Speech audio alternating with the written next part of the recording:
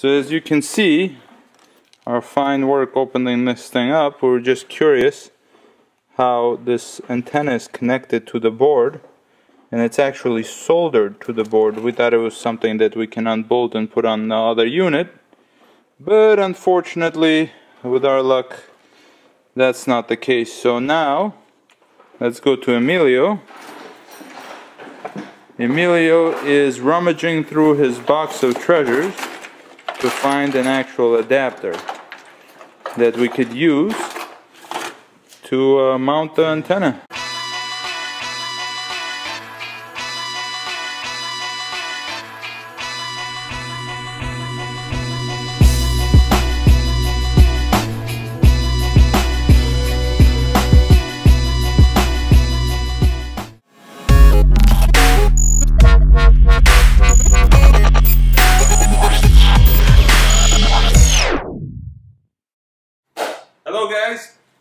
Today we have a new DIY video for you.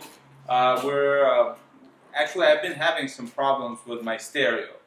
And to tell everybody why you're having problems with stereo. Ah, okay, so um, when we were doing the restoration on the car, what happened was for a brief period of time we didn't have the windshield on the car, and it, the car had to be moved out of the body shop, and it rained for a little bit, and now my stereo doesn't work. Now, so basically, Emil, you flooded the vehicle, and that's why it doesn't work. Emil, being the good friend that he is, he's uh, letting me permanently borrow uh, his amazing stereo that may or may not work. Yes, price Everyone... will be discussed after the install, after we make sure it works. Well, uh, I think it comes with your famous taillight, taillight warranty. warranty. as soon as my taillights are this... out that parking lot, then warranty's uh, done. warranty's done. This is like brand new product here. Like brand new. This. It's been refurbished and.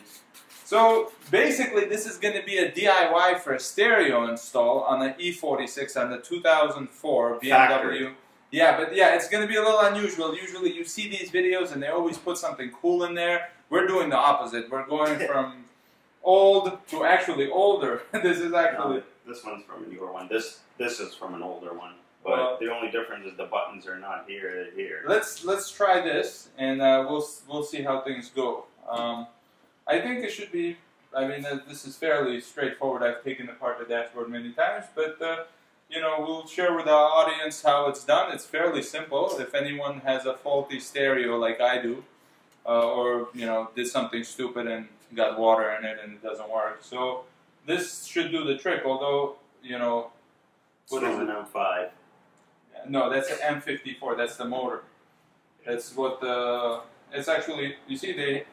It says right here, 325 XI, and M54, which which this is.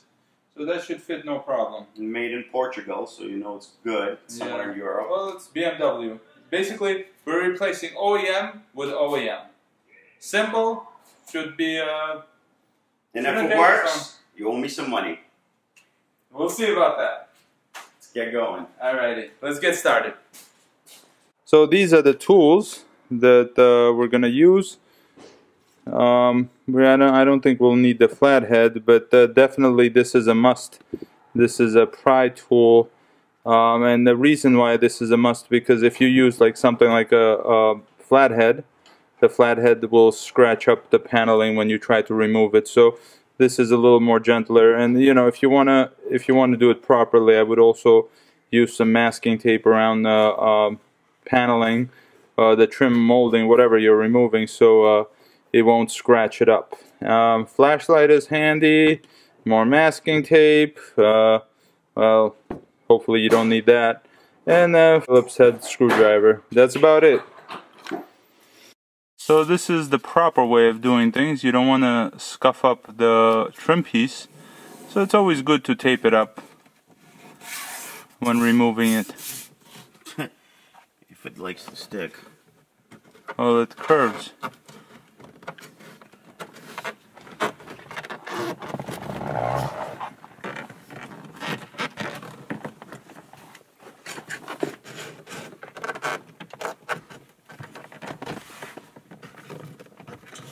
You want to gently pry on it.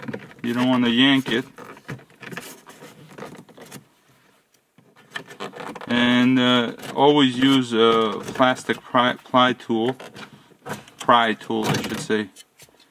Don't use a screwdriver. This piece is ready to come out. No, no, no, no, no. This has to come out straight. There it goes. So we got to remove that one. No, that one, and that one. That's it. There's just two screws and we should be ready to go as long as we don't lose them.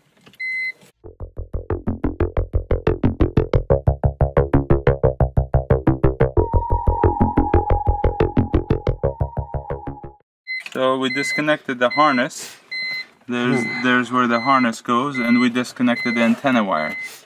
this So this looks a should be a different. fairly straightforward. The harness connection is correct though, Is it? Yeah. except there's uh Another one there, but Yeah. we don't need that. yeah, it seems like nothing plugs into that anyway. Yeah, there's nothing there. I think this is from a newer one. This is an older one. They changed it. No, this is the newest one there is. This is the this is basically almost the last year of the E46. Yep, the antenna's different. Oh no.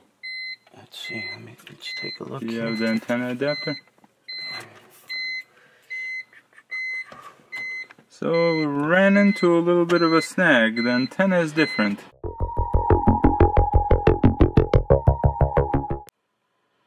Just needs an antenna. So there must be an adapter. Yeah. So let's try to. Uh, let me think. I probably have one. So Uh, unless we try to take this one off.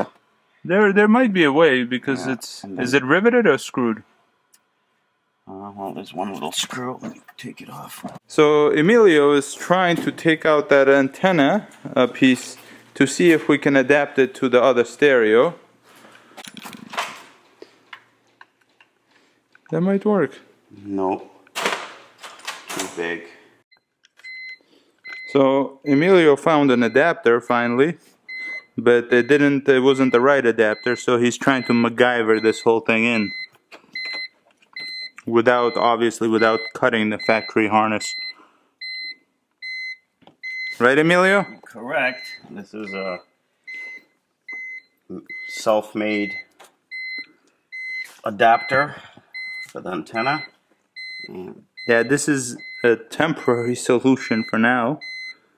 It's better than not having a stereo till we can get the the proper. Uh, actually, we're not even going to get the adapter. We're just going to replace the stereo with a nice aftermarket unit once we get it. But for the time being, I think it's. Let's give it a test. Well, the test has worked. So officially, you owe me money. And before I attach the screws, how much? we'll discuss it on off it on camera. camera? no, no, no. You know I don't do anything, any binding agreements. I guess you're getting the taillight warranty then. I knew I was gonna get that anyway.